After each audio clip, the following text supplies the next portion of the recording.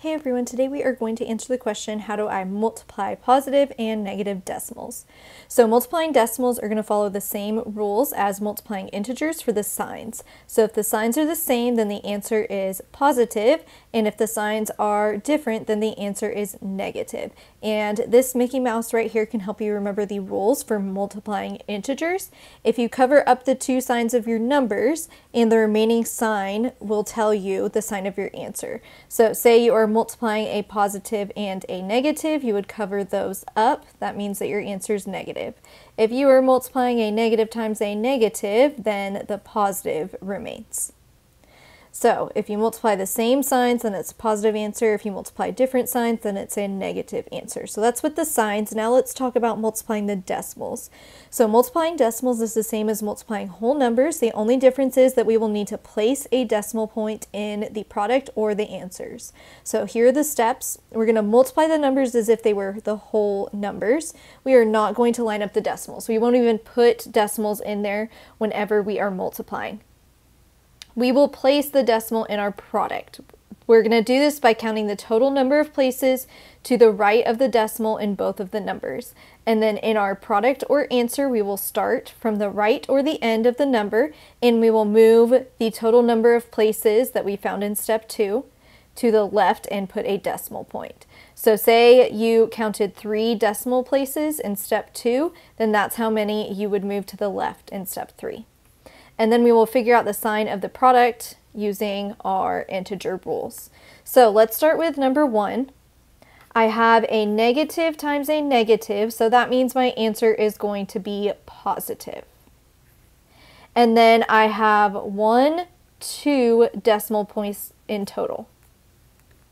So in my final answer, I will move two decimal points and my answer will be positive. Now I'm going to multiply these two numbers as if they were whole numbers. So I'm going to do 264 times 31. I'm just writing these as if they were whole numbers. So 1 times 4 is 4, 1 times 6 is 6, 1 times 2 is 2. I'm going to add a 0, and then 3 times 4 is 12. 6 times 3 is 18.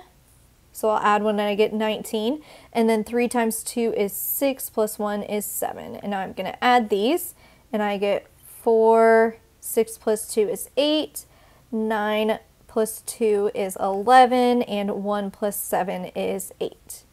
So here's what I got from multiplying the numbers.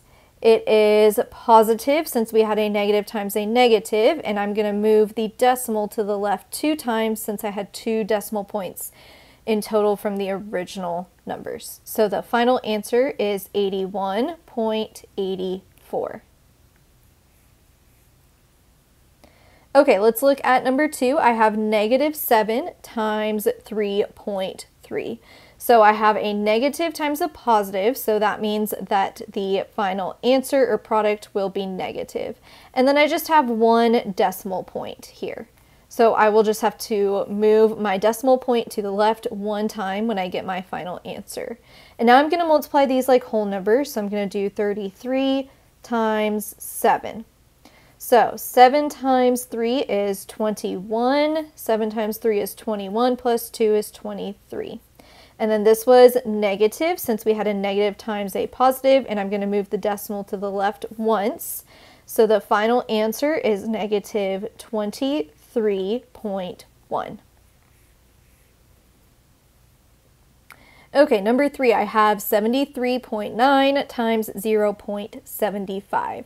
So I have a positive times a positive, so my final answer will be positive. And I have one, two, three decimal points in total.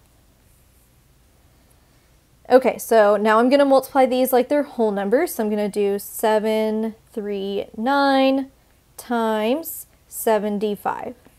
So 5 times 9 is 45. I'm going to carry the 4. 5 times 3 is 15 plus 4 is 19. 7 times 5 is 35 plus 1 is 36. Okay, now I'm going to multiply the 7. 7 times 9 is 63. 7 times 3 is 21, plus 6 is 27. And then 7 times 7 is 49, plus 2 is 51. Okay, now I'm going to add these together. 5 plus 0 is 5, 9 plus 3 is 12, we'll carry the 1. 7 plus 6 is 13, plus 1 is 14. 1 plus 3 is 4, plus 1 is 5, and then we'll bring down the 5. And then my final answer was positive, since I had a positive times a positive, and I have to move the decimal 3 to the left. So I move 1, 2, 3. So the final answer is positive 55.425. All right, let's look at number four. I have a negative number times a positive number. So those are two different signs, so my final product will be negative. And then let's count the decimal places. I have one, two, three, four in total. So at the end, I will have to move my decimal four spaces. So now let's multiply these like they're whole numbers. I'm going to do 3092 times 8.1. So 1 times 2 is 2, 1 times 9 is 9, 1 times 0 is 0, and 1 times 3 is 3. Now let's do 8. 8 times 2 is 16. 8 times 9 is 72, plus 1 is 73. 8 times 0 is 0, plus 7 is 7. And then 8 times 3 is 24. Okay, now let's add these together. 2 plus 0 is 2, 9 plus 6 is 15, 1 plus 0 is 1, plus 3 is 4, 3 plus 7 is 10, 1 plus 4 is 5, and bring down the 2. So there is the numbers in our final answer. We just need to make it a negative since I had a negative times a positive, and then I need to move the decimal to the left, 1, 2, 3, 4. So I get negative 25.0425 or 452. All right, number five, I have a negative times a negative, so I'm going to get a positive answer. And then I'll have to move the final decimal two spaces since there are two decimals in the original numbers. Now let's multiply them like they're whole numbers. 234 times 1 is just going to be 234.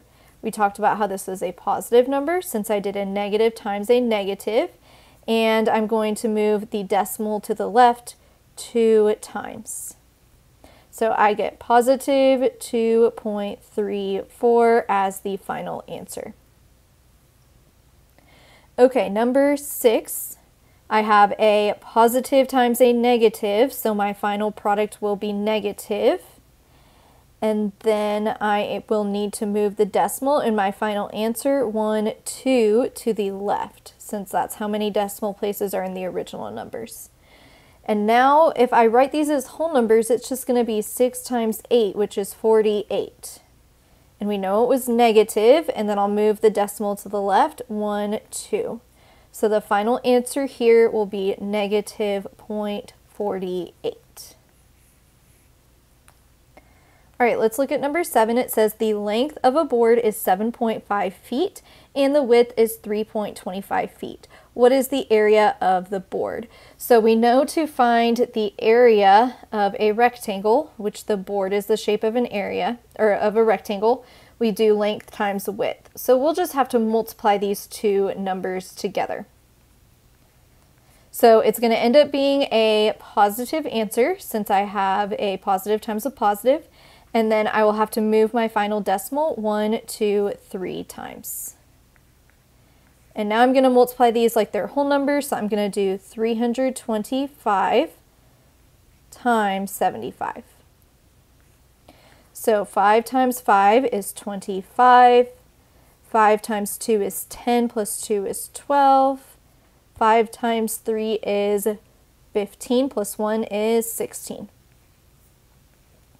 Okay, 7 times 5 is 35. 7 times 2 is 14, and 14 plus 3 is 17.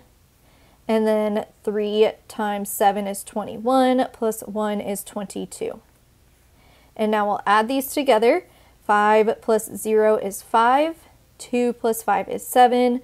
6 plus 7 is 13. 1 plus 1 plus 2 is 4. And I bring down the 2. And then I have to move my decimal to the left three times. One, two, three. So the area of the board is 24.375 feet squared.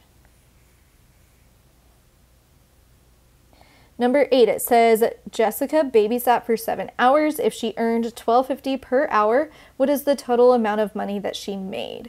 So we will just take her hourly rate, $12.50, and we'll multiply it by the number of hours she worked, which was seven, and that will tell us how much money she made. So our final answer will be positive since we have a positive times a positive, and I'll move the decimal two spaces. So now let's multiply 1, 2, 5, 0 times 7. So 7 times 0 is 0, 7 times 5 is 35, 7 times 2 is 14, plus 3 is 17, and then 1 times 7 is 7, plus 1 is 8. And then I move the decimal 2 times. So the total that she made for seven hours of babysitting was $87.50.